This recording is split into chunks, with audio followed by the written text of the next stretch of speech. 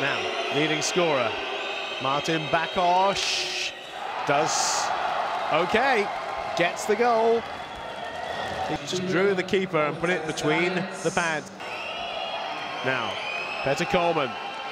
Can he make it two? He does! He does! Because if Kevin Klein misses here, it is Bílí Tygři Liberec to go through to the semi-finals.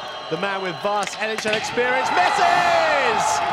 And it is the oh. Czech side who oh, progress to the semi-finals. That goal after 41-39 proved to be substantially important from Lucas Krenželok.